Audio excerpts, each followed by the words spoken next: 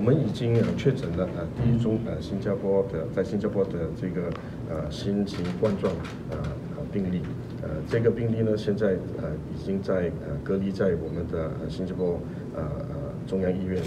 呃他的孩子也有一些症状，因为他也生病了，但是他还是一个呃可疑病例，还没有确诊，呃我们接着下来也把他呃隔离了，那么接着下来就会进行呃检验，呃如果他呃确诊是呃同样的新型冠状病例的话呢，我们也会呃继续呃进行呃这个呃治疗跟呃观察，呃第一宗的病例我们已经开始进行呃他的呃呃呃亲密接触的追踪。呃，希望把这些呃人都呃，目前我们呃所呃发现的有九个，呃，他跟他在一起的同伴，我们都会把他们隔离。那么我们这个工作还在进行当中。那么我们还有另外一个病例，呃，是是一位呃女乘客从呃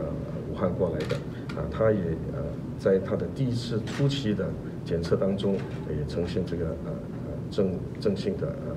反应，所以我们接着下来会进行呃确诊的检查。那么如果她呃确诊是呃同样的新冠新型冠状病例，我们也会呃进行同样的最终调查。啊，那么他呃第二位呃病人也已经在呃呃我们的 NCI 已经被隔离了。两位病人的情况都非常的稳定，所以我们最重要的是希望大家都能明白我们的这个策略呢是多方面的啊。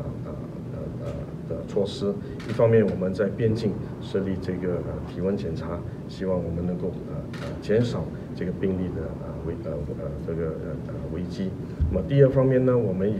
呃呃